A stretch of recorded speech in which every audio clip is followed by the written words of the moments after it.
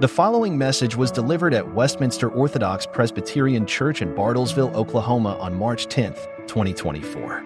The speaker is Mr. Terry Miller, a ruling elder. The message is based upon 1 Peter 3 verses 1 to 7, and it is titled Instruction to Wives and Husbands.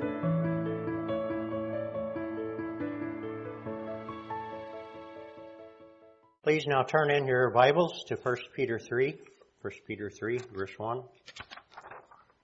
Likewise, wives, be subject to your own husbands, so that even if some of them do not obey the word, they may be won without a word by the conduct of their wives, when they see your respectful and pure conduct.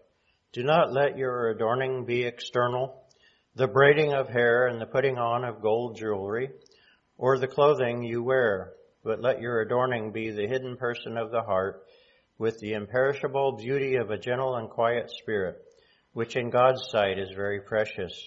For this is how the holy women who hoped in God used to adorn themselves, by submitting to their own husbands, as Sarah obeyed Abraham, calling him Lord. And you are her children if you do good and do not fear anything that is frightening. Likewise, husbands, live with your wives in an understanding way showing honor to the woman as a weaker vessel, since they are heirs with you in the grace of life, so that your prayers may not be hindered. Amen. Please be seated. Let us pray. Oh Lord, I pray that the words of my mouth would be true, that Christ would be the speaker. Father, I pray that you would use your word to equip us and to teach us this day. In Jesus' name, amen. well, just as a reminder, and actually the first point today will be somewhat of a recap because it continues into today's message.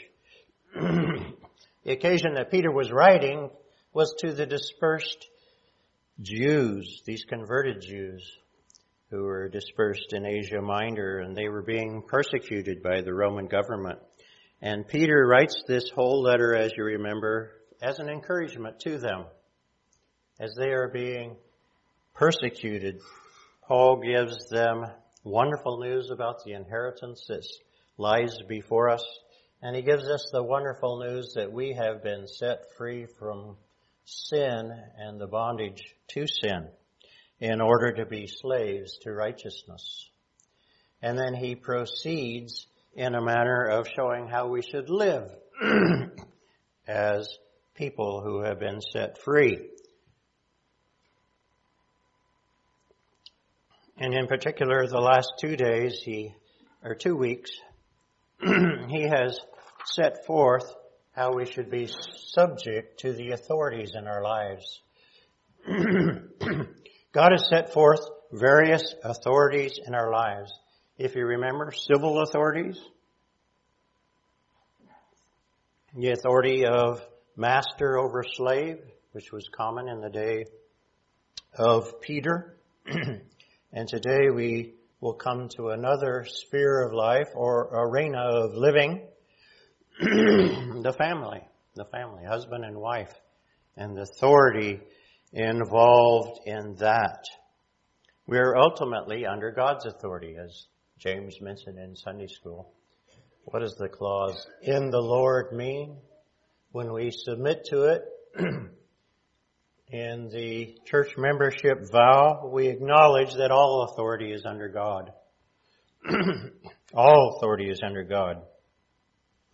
And even when we submit to the authority of the elders, as Hebrews 13 says, we submit in the Lord, in the Lord, because we acknowledge that the elders have been called and ordained by God and under His authority. Well, God has placed these authorities in our lives for our good and for the good of society. We are most blessed when we, of course, obey His commands, and those commands include obeying those authorities. But Peter acknowledges in a sinful world that will sometimes involve suffering in order to obey those authorities, as we saw last week. and he command, or he exhorts us to entrust ourselves to God's care in those cases. He reminds us that we've been set free from sin and we have been set in subjection to various authorities as we live a life of obedience to Him. The passages we'll look at today deal with husbands and wives in the family society, the family unit of society and of the church. Peter continues to lay out instructions on how a man and wife should live out their marriage in a life way that is pleasing to God and that does involve subjection just as well. So today we will look at this passage under three heads. One, we are subject to authorities in this life. Two, wives be subject to your husbands. Three, husbands live with your wives in an understanding way. First, we will look at our subjection to authorities because that's what brought us to this passage. John Calvin, who is my go-to guy commentary when I get stumped, says about 1 Peter 2:8, servants be subject to your masters.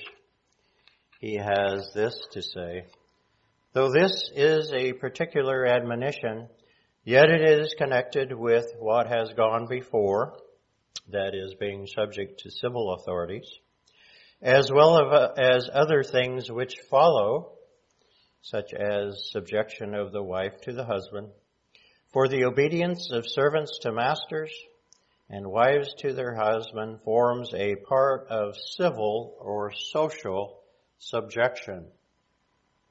Calvin says, these things God has given in our society, both our civil and our ecclesiastical spheres of living for our good. Well, about a week ago I had a Columbo experience. Do you remember Lieutenant Columbo, any of you guys? He would always get this suspect, the whodunit guy, and he'd start act playing dumb and then he would leave the room after questioning him and he would stop at the door and scratch his head with his cigar in his hand and says, well, there's just one thing that still puzzles me. Why did you do this? And then, the, and then he takes out and leaves and leaves the suspect squirming because he know he's, he knows he's on to him. Well, I don't have any suspects, but I was scratching my head about these passages of subjection and I had a WWWDD moment. Anyone ever heard of the acronym WWWDD. Well, maybe you've heard of WWJD. This is what would the Westminster Divines do with these passages? Well, last week I showed you part of it. In chapter 20, the Divines developed from second, from 1 Peter 2, chapter 20, liberty of conscience. That whole chapter is taken from uh, 1 Peter chapter 2 and other passages, but primarily from 1 Peter chapter 2. And I got looking at this and I was kind of cogitating on Calvin's comment. And I came to this conclusion that Peter is following the fifth commandment here. The commandment of submission to authority. So I started looking in the Confession of Faith because I like to look at proof texts. I like to look at proof texts. And if I see my text as a proof text to something in the confession or the catechisms, I know that they are using these passages. So I looked at the fifth commandment. Honor thy father and thy mother that thy days may be long upon the land which the Lord gives thee. And then I continued on who are meant by father and mother in the fifth commandment. We know the fifth commandment is not just limited to children and their parents. But by father and mother in the fifth commandment are not only natural parents, but all superiors in age and gifts, and especially such as by God's ordinance, those who are over us in places of authority, whether in the family church, or commonwealth. all those three spheres, God has placed us under authority. And the next, or rather question 126, what is the scope of the fifth commandment? It is the performance of those duties which we mutually owe in our several relations, both to our superiors, our inferiors, and our equals. There is no relationship that does not fall under the fifth commandment unless you can come up with a category different from inferiors, superiors, and peers, or equals. And then the question that really got me interested in this is what is the honor that inferiors owe to their superiors? Because that's what Peter has been talking about.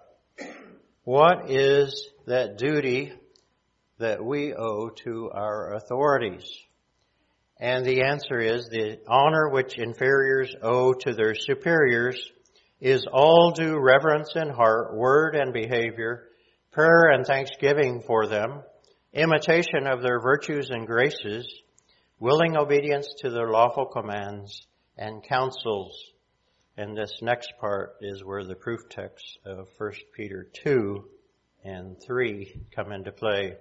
We owe them due submission to their corrections and fidelity unto.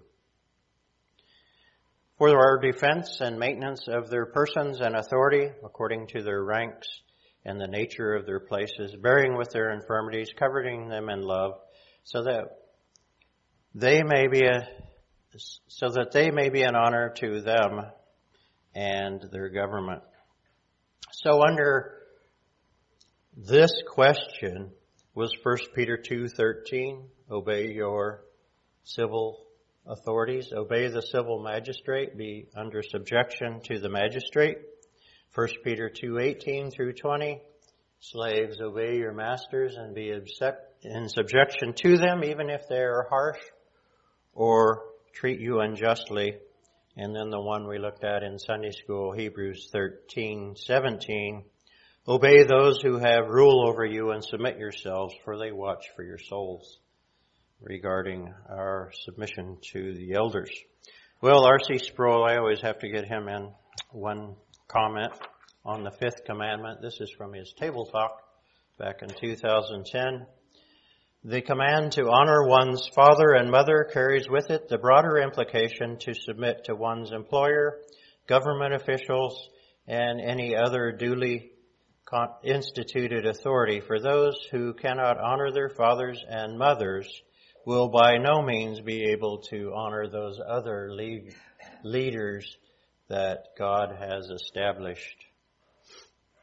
God has ordered our lives in subjection to these authorities, regardless of what sphere of authority. Well, I also, as I was going through these passages, realized that Paul echoes everything that Peter has to say. And maybe you've recognized that too as we've gone through these passages in 1 Peter. Peter says, be an object, be subject to the Lord's sake for every human institution. Servants be subject to your masters.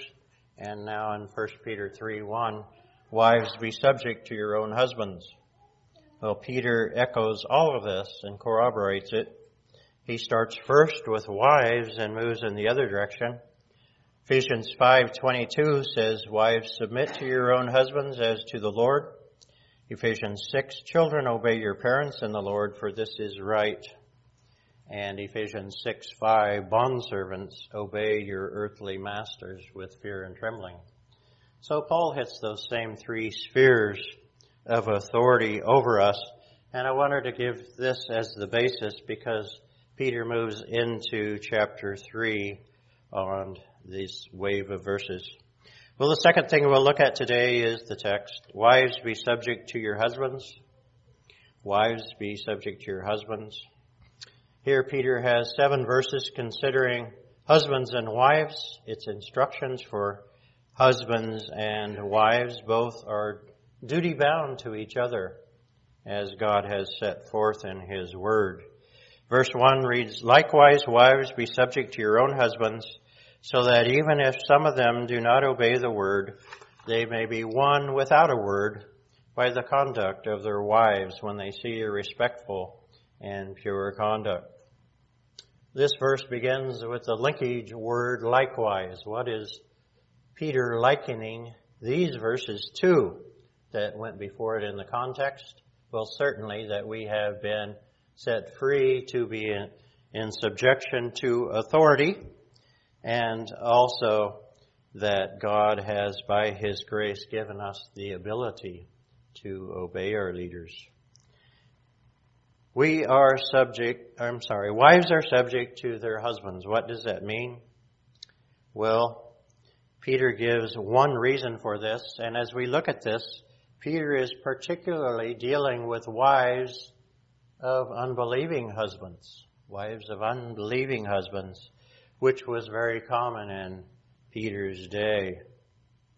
Peter, in essence, says, don't beat your husband over the head with scriptures. Don't lay tracts beside his morning breakfast, although those things might be used. But especially win him over by your conduct. By your conduct. Don't try to be a teacher and talk down to your husband, but live in a way that your inner beauty, your inner adornment testifies to God's grace to him. Unbelieving husbands may refrain from listening to the Word of God, but they are always aware of their wife's conduct and inner adornment because they live with their wives. God uses that inner beauty and adornment as a testimony of His grace. Well, Peter does not expand on the basis and the reason for this objection as much as Paul does, and Paul continues to corroborate, which shouldn't surprise us, the thing that Peter says. I would like to look at Paul's writings just a bit, so bear with me with some indulgence on Paul's reason for the subjection of the wife over the husband. Paul says that this is ordered in creation. Ephesians 5:22 says, "Wives, submit to your own husbands as to the Lord, for the husband is the head of the wife, even as Christ is the head of the church, his body, and is himself its savior. Now as the church submits to Christ, so also wives should submit in everything to their husbands. So Paul says, because of this creation ordinance, wives should submit to their husbands. And marriage, we see, is patterned after the relationship of Christ to his church, his bride. He continues on in 1 Corinthians 11, which we read today. But I want you to understand that the head of every man is Christ. We see an order here of headship. The head of every man is Christ. The head of a wife is her husband. And the head of Christ is God. The head of a wife is her husband. And the head of man is Christ. He continues on in chapter 11. Man is the image and glory of God, but the woman is the image and glory of man. For man was not made from woman, but woman from man. Neither was man created for woman, but woman for man. So Paul sets forth very clearly from the beginning, God established this order of headship in His Word. Woman was created for man and not the other way around.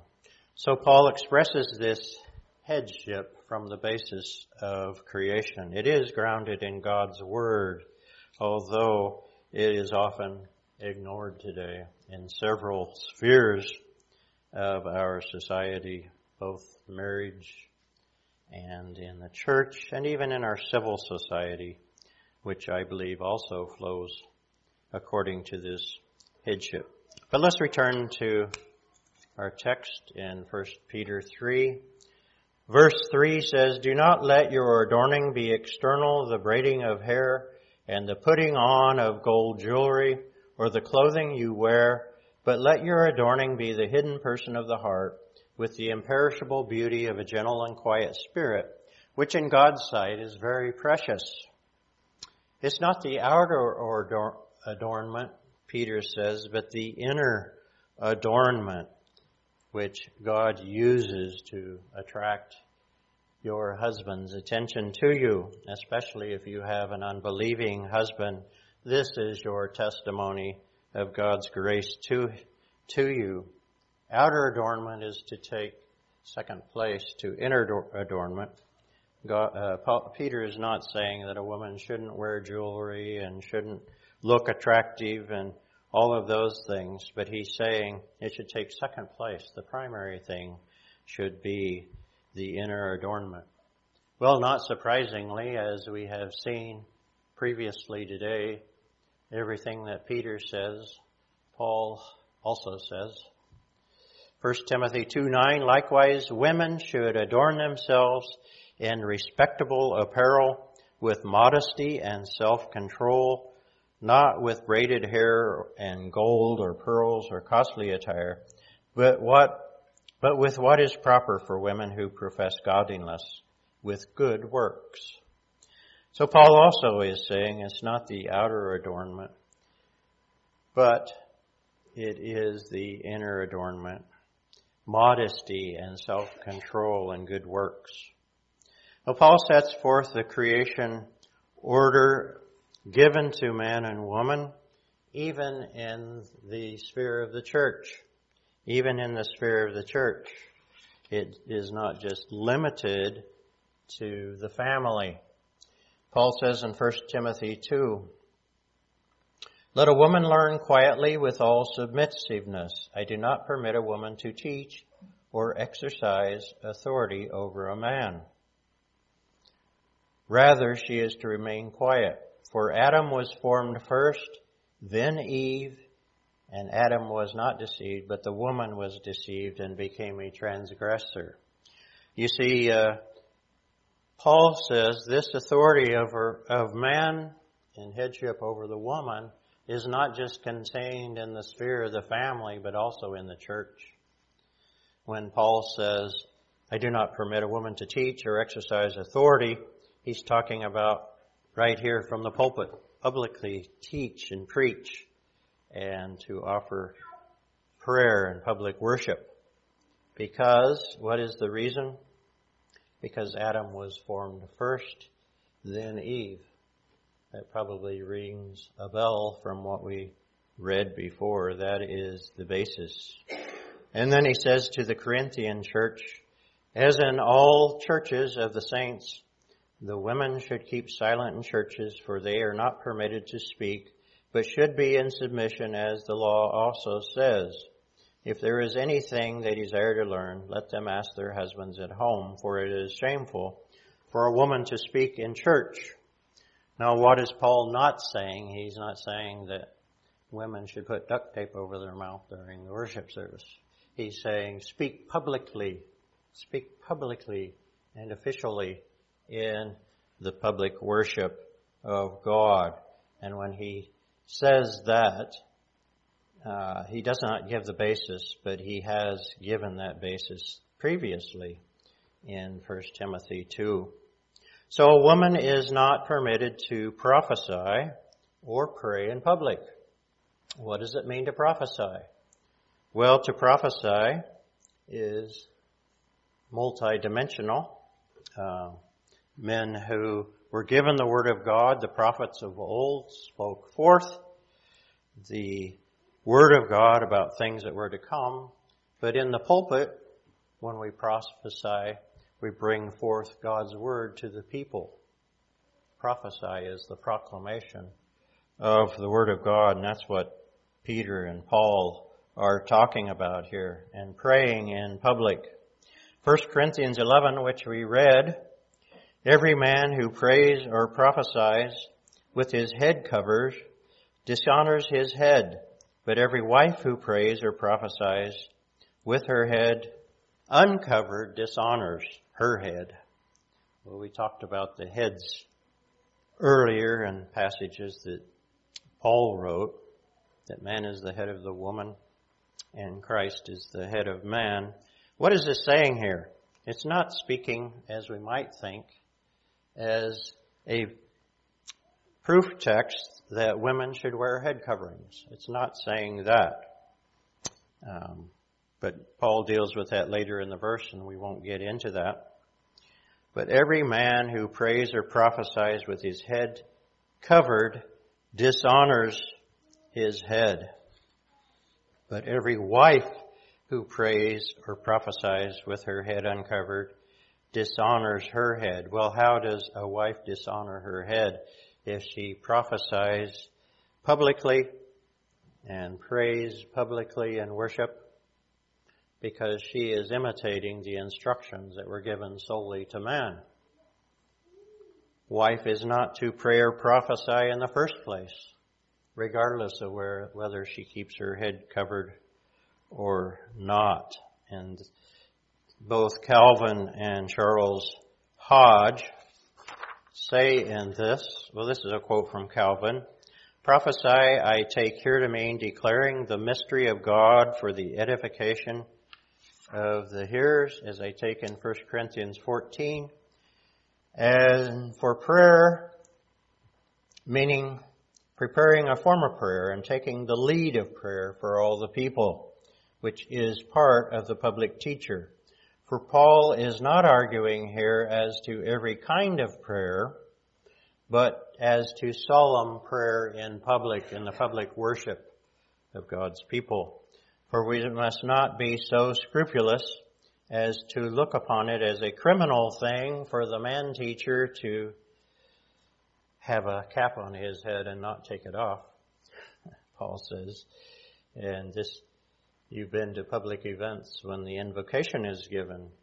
Uh, men are uh, told to remove their head covering for the invocation, and it comes from this text. But Paul means nothing more than this, that it should appear that the man has authority and that the woman is under subjection and this is secured when the man uncovers his head in view of the church, though he should afterwards put his cap on again from fear of catching cold. I don't know if Calvin had a light moment there or he was dealing with someone there who he was teasing or admonishing. But this this verse that I read is just instruction for the man, and, and he is saying, and a woman should not prophesy or prayer, offer prayer in, in public. And as I said, both Calvin and Charles Hodge agree that that is the reason for this verse. is talking about proclaiming God's word publicly in worship and praying publicly in worship they are instructed to remove their head coverings before they do it. That is, the men. So therefore, I have not worn my head covering today. I agree with Calvin and Hodge, not to be confused with Calvin and Hobbes, in this matter. Well, God has set forth this order between men and women in the worship of His church, just as He has in marriage this is brought into the sphere of the church. Well, let's return to our text again. In 1 Peter 3 verse 3, instruction to the wife, do not let your adorning be external, the braiding of hair and the putting on of gold jewelry or the clothing you wear, but let it be the hidden person of the heart with the imperishable beauty of a gentle and quiet spirit, which is in which in God's sight is very precious. And he goes on in verse 5 to say, For this is how the holy women who hoped in God used to adorn themselves, by submitting to their own husbands, as Sarah obeyed Abraham, calling him Lord. And you are her children, if you do good and do not fear anything that is frightening. Well, Paul sets forth Sarah as an example, Abraham's wife and his half sister, if it must be known. As an example of properly adorning herself with these hidden qualities of a gentle and quiet spirit. So he commends her as an example of a submissive wife. She called her husband master or lord, giving respect to him. Now that's a cultural thing. We don't, in this, in our culture today in society, the wife doesn't show respect by calling her husband master or lord, but Paul is just saying that she was respectful of him. Wives are to be respectful of their husbands before their children in the family and before those outside the family. She is. And the husband, as we will see later, is to esteem his wife in the family to the children and to those who are outside the family. Both have duties to one another, but we will get to that in a bit later. But Sarah did acknowledge Abraham's headship over her, and he exhorts women to walk in the path of Sarah and be Sarah's daughters. Some people erroneously think that a woman should submit blindly to everything the husband requests from her, even if he is using or abusing her. But this situation is no different than the other situations we have looked at because we have seen that we are to submit in the Lord. In the Lord again acknowledges the Lord's authority over all things. Every authority that God has ordained, whether it be civil, ecclesiastical, or the husband in the family, is subject to God. And the person who is under authority submits in the Lord. They cannot do anything that's sinful. They must refuse. So if a husband ask the wife to do something sinful, she must refuse. The law also protects us against tyranny. Against tyranny. It protects a woman from the tyranny of her husband. If her husband is abusive, whether that be physical or emotionally abusive, a woman is not without recourse.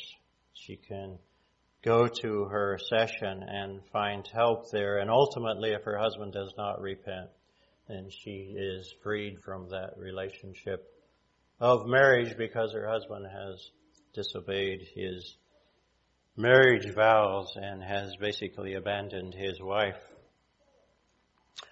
Well, now we will look at the husbands. Point number three, husbands live with your wives in an understanding way. Now it's time for you husbands to squirm on the pew. You're on the hot seat.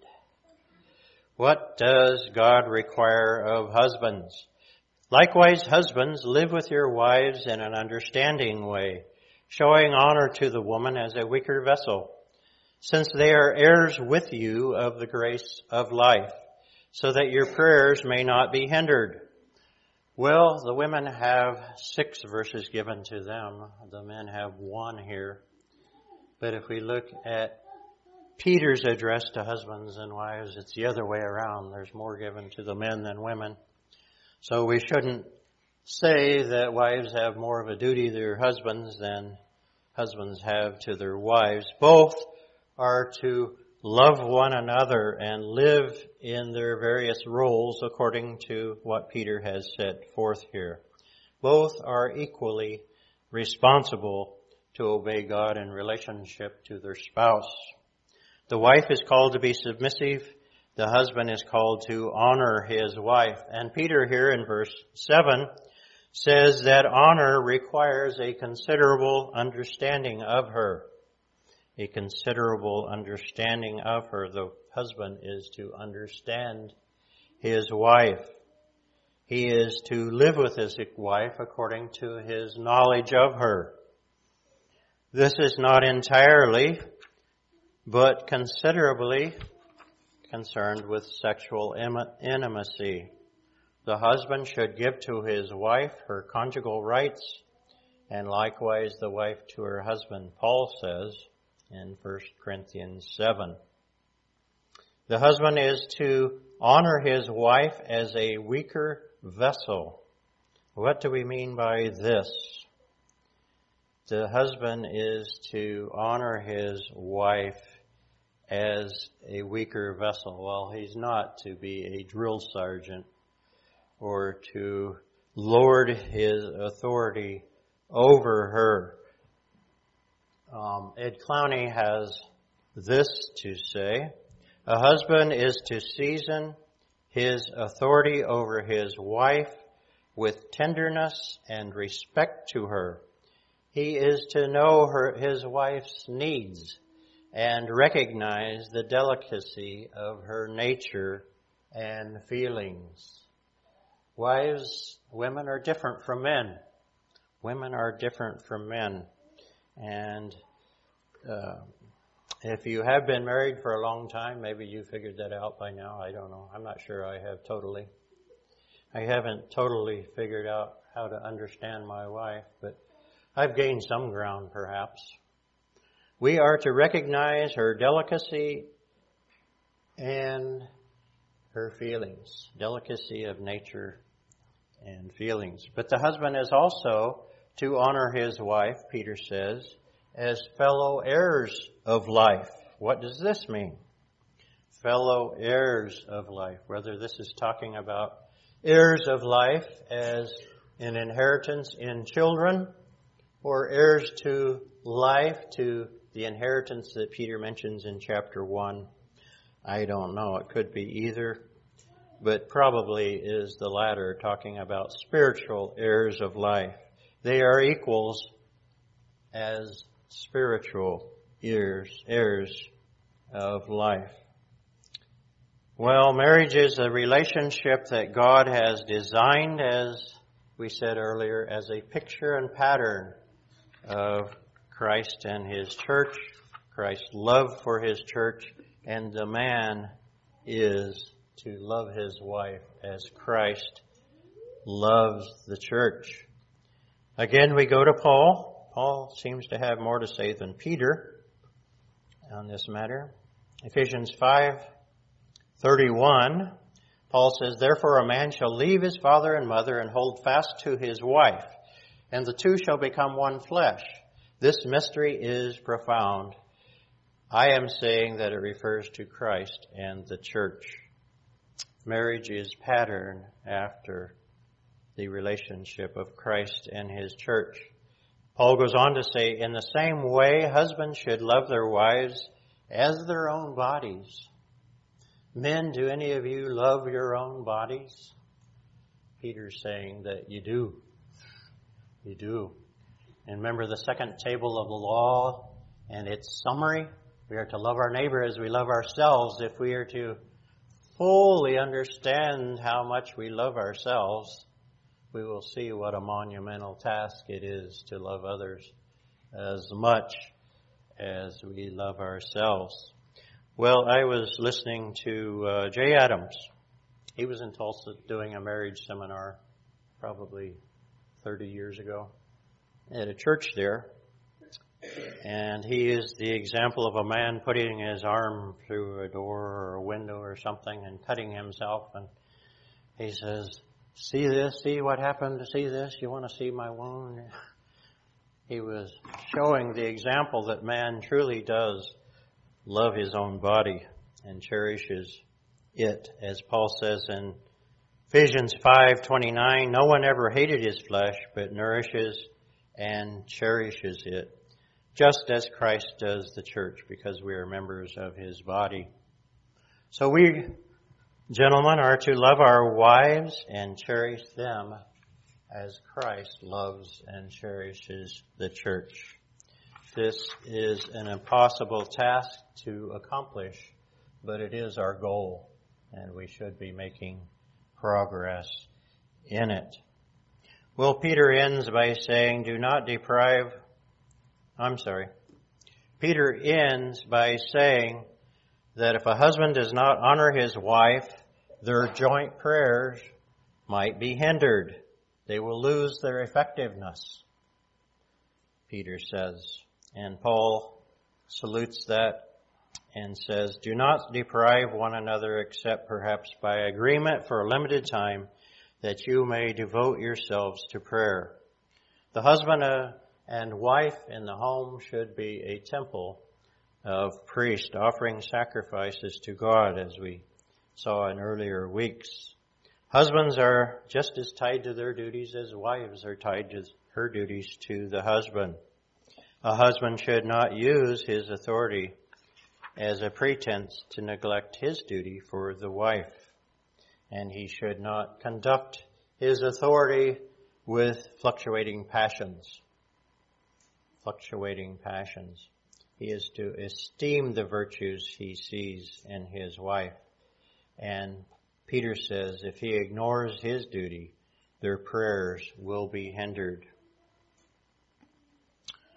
Well, it is also true that the wife is to obey her duty regarding her husband because that also affects the mutual and joint prayers of the couple.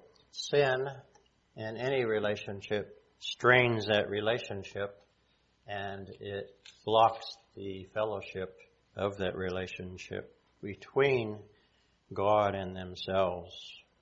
God and themselves. But the husband is responsible not only for the relationship of God and the spiritual growth of his entire family, but as with his wife as well. Well, in closing, what more can be said than has already been said? Wives, be subject to your own husbands, so that even if some do not obey the word, they may be won without a word by your conduct.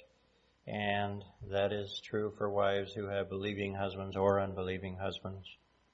Husbands, love your wives and live with your wives in an understanding way, showing honor to her and esteeming her. Let us pray. Father, we thank you that you have given to us a pattern in marriage, a pattern and a picture of Christ and His church for us so that we may see how we should live as husband and wife. Father, we pray that you would forgive us, for we often fail so far short of what is commanded here for both husband and wife. But we pray that you would teach us from your word. We pray that your spirit would indwell us and enable us more and more to maintain these difficult duties between husband and wives. We pray in Jesus' name. Amen.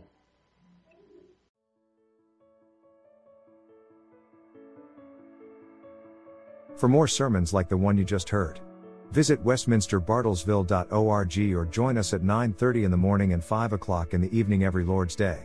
We're located on the corner of Adams and Chickasaw in Bartlesville, Oklahoma. We'd be happy to have you.